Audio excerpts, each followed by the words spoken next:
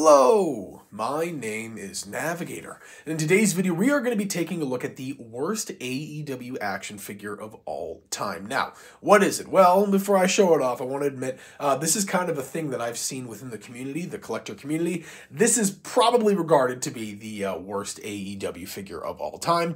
I ended up getting it on Ringside Collectibles for $2.49 in box. That is officially the uh, cheapest I have ever paid for an in box figure. I mean, you can go to the dollar store, honestly, and find uh, in box figures of like any kind that are more expensive than that. But what is it? It is going to be the AEW Unrivaled Series 6 Jake Hager. And once again, guys, I got this on Ringside Collectibles for $2.49. That blows my mind. It was a little bit damaged, damaged packaging, but to the naked eye, I mean, you can barely even tell.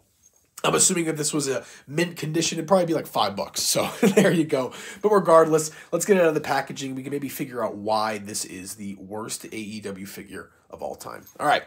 So yeah, once again, this is Series 6 from the Unrivaled Collection. Some of the other figures in the line, we got Chris Jericho, obviously Jake Hager, who we're looking at now, MJF, Hikaru Shida, uh, Penta El and Rey Fenix. From this line, I think I only have, well, Jake and Hikaru Shida. So there's that.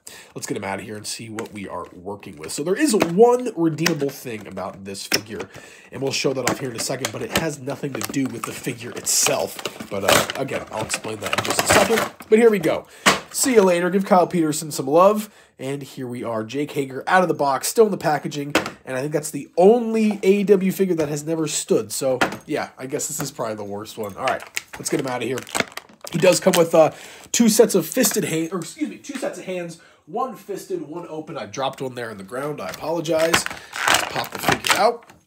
And uh, yeah, this is looking a little, a little worse for wear. So what we're gonna do is we're gonna take this hoodie off. Uh, obviously, I don't really want it staining. And what the, what the heck? Okay, all right. So there's that. Uh, yep, there is staining on here. So let's, uh, if you guys were curious how to get this off super easily, all you do is you pop off the bottom, uh, or excuse me, the legs, and then you can just slide those off super easily. Well, maybe not super, but let's see. The first one came off well. Why is that one? There we go. All right. Let's get him back down to speed.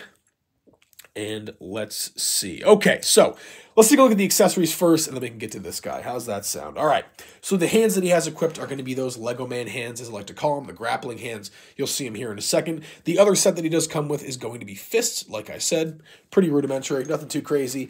The accessory that he comes with, and this was going to be the redeeming thing that I said. I mean, it's just, it's it's soft goods. Uh, for $2.49, I would have paid for this, so that's totally fine. The only thing that is baffling me is that it is Velcro in the back, but the hood is still intact, and there's like actually plastic in here as well, which maybe isn't the worst thing. Actually, let's uh, put that to the side. I might keep that in there, but I don't understand how it's Velcro in the back, but the hood is still intact, so you have to like slide it off. I don't know. Doesn't make a lot of sense to me, uh, but maybe it did to them. So there you go. This is kind of cool. It's just like a short sleeve black hoodie. Uh, there's gold on the bottom here. Maybe, you know, be able to cut that off or something and just turn it into a regular black hoodie, which is not bad. I mean, you could use this for really any AEW figure. So there's that, or really any wrestling figure at all. Let's move on here to the figure itself, though. And uh, yeah, I can see why. So starting here at the bottom, these shoes, number one, they just look so tiny. I don't know. It, it, trust me, it's a better job than the uh, the uh, the other one that they have. Actually, let me grab that really fast. This is the other Jake Hager that I have uh, for comparison. The shoes on that are literally abysmal. They're like really big and they look ridiculous, but these aren't that bad. They're really not that bad. Color on them is a little weird, but at the end of the day, they move and he can pretty much stand. Let's see if he can stand. Yeah, you can probably get him to stand pretty well there. Moving up the legs, though, I just don't like the shorts here. Like, I, they just look way, way, way too short, and he looks weird. No knee pads. The legs just look odd. I don't know. He's got these long, lanky legs.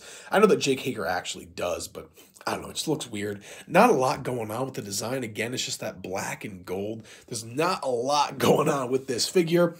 The torso, yeah, nothing too crazy. He's got a tattoo on the back here just below his neck.